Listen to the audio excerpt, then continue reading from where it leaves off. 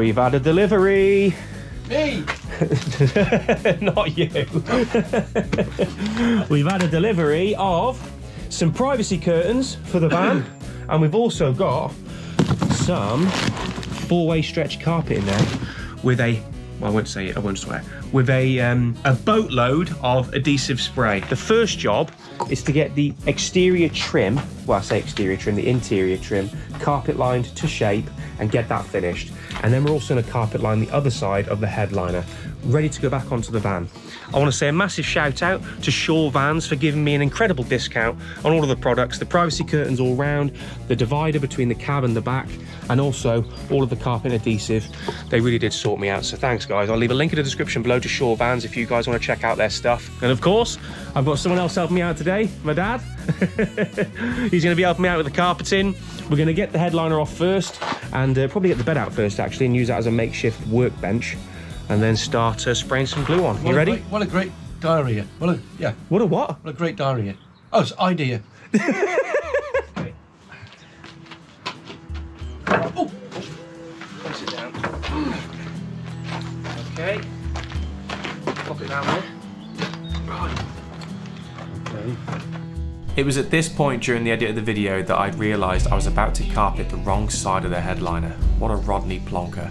This is going to cause me a headache when it comes to reattaching it. actually, about, I'm about an inch over. Is that any good?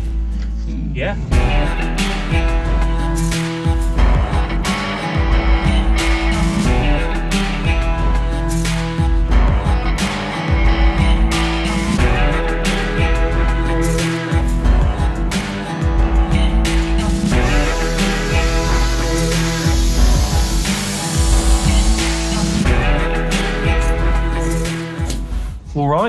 That is the headliner carpeted.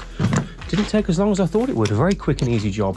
It's probably going to be the quickest and easiest job to do of the lot actually carpeting this van. Right, shall we spin it over? We'll have a look at it. Let me just pop that there. That's it. All right. Yeah.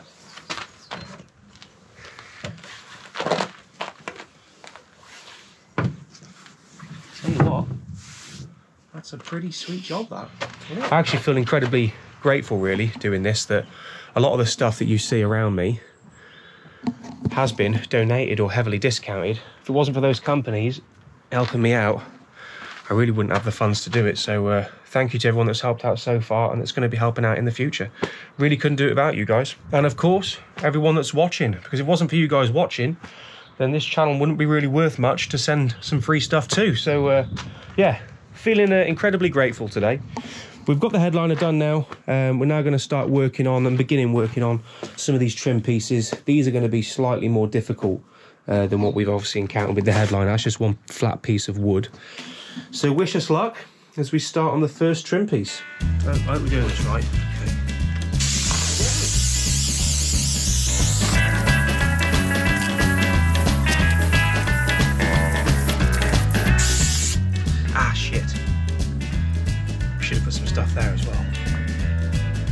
Oh well.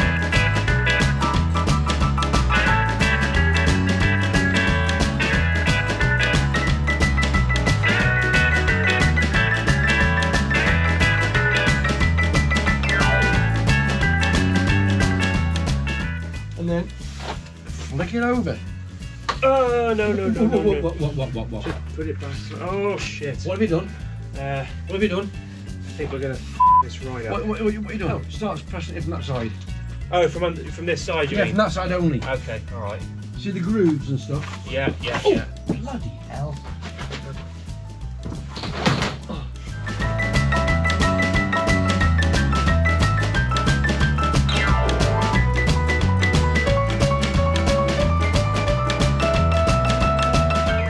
It's not looking too bad, is it?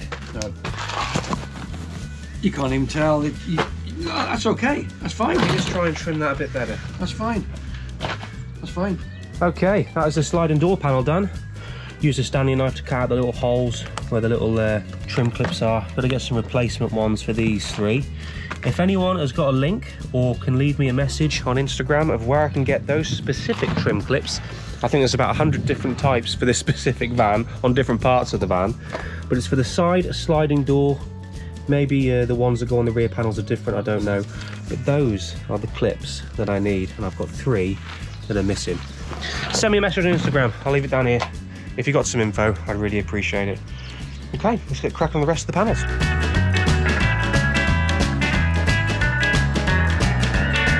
Damn it, first cut of the day. Ah.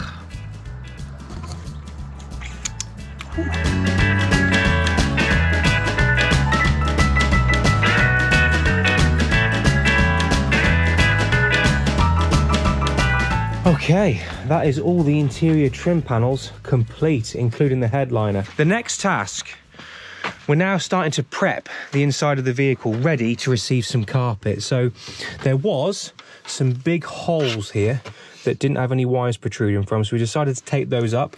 Thanks to your advice in the comments on a previous video. I saw a few of you mention about taping these holes up because if you don't, the color of the carpet starts to kind of go a bit funny. So we've covered that up.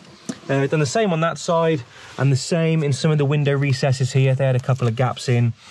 Uh, me and Dave have routed some two core wire down the pillar there and that's ready to go to the leisure battery that will sit around here somewhere. So now, as far as prep's concerned on the window frames, I've brought this. If anyone can uh, leave a better suggestion in the comments, then please let me know because I would like to know how to do it properly. But I brought this from Toolstation. I think it was about seven quid. Uh, tape and drape. So I think the idea with this is to kind of tape it across here, drop it down, cut it to shape, shove it in the window cracks, just so we don't get any adhesive spray on the windows because I've seen a few videos online and a few uh, Reddit forums of people saying as soon as you get that adhesive spray on the window, it's an absolute nightmare to get it off and you stand a high risk of scratching your window when you're trying to get it off. So we're not going to do that. So we're going to try and protect the windows now and get the van completely prepped to start receiving some more carpet. This is the part of the build that I've been dreading a little bit. Um, carpeting the whole side of the van, the trims were a lot easier, but uh, this is the actual part now where I'm kind of dreading it a little bit. I'm actually a little bit scared to do it, but we'll do it. You confident? When I'm here, I'm confident. Yes. I don't know what that means, but yeah. Well, Very well- confident, yes. Okay, good. Okay, all right. Right, let's start prepping then, and then we'll start putting some carpet on the side panels of the van. Nice. This stuff works incredibly well. Took me first time use, and I'm not very good at doing things for the first time. 20 seconds, I think, to do that window.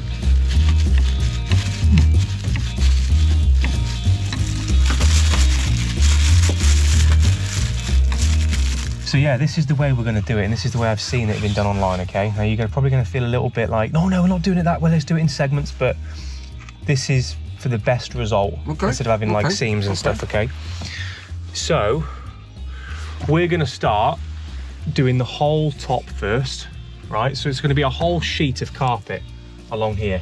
Okay, we'll cut it to size. We'll measure it and we'll cut it to size, so we haven't just got a whole roll at the back of it. Look at me a massive sheet load It's going to be a massive sheet, sheet load. Yeah. yeah, literally a sheet load of carpet. Um, and then what we do once we've uh, started filling in these gaps and making sure there's no kind of uh, creases and stuff, is then we'll cut out a small, a very small hole for the actual window itself. Don't cut out a hole that's the size of the window fine. because then you're going to really mess Whatever yourself you want to do, I'll do. Okay. And you can't blame me. Okay, I don't know if that's a good thing or not then. But uh, but yeah, we'll cut out a small hole and then we can start filling in the gaps down here then. So yeah, that, that's going to be hard. That's going to be hard. This this side's going to be the hardest actually because this is one whole panel. Whereas that, obviously, we have to do in two segments because you've got there and you've got the sliding door. Whereas this is the fixed one. So once we've done that, Yeah. everything else should be a lot easier. Oh, your breath smells of cheese and onion quiche. Is it? Yeah. Were we just eating cheese Oh, you've had some cheese as well. Okay. Oh! You're right. Oh! What can you just go? I nailed on them scissors. Oh! did you? Jesus. Oh god. Oh. Your knees don't really fare too well in these oh, videos, dear, do they? dear, dear. Oh, it's a bit nerve wracking actually doing this. Go on, carry on, you'll be alright, you'll be alright. Just gotta do it. Just gotta do it. Okay, okay, okay, okay, okay. Just pretend you've been doing this for years. Yeah, yeah. It's my day. I do this ten times a day. Yeah.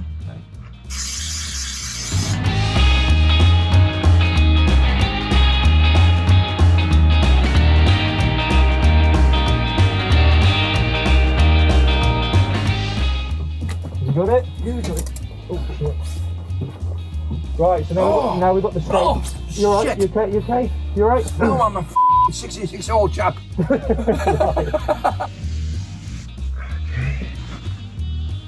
Let me. Stanley Blade is over there. We use it as a peak hole, you know. That's a, that's it. Yeah, it's a peak hole. Just leave it like that. Yeah, yeah. Looking good over here as well. Quite stuck.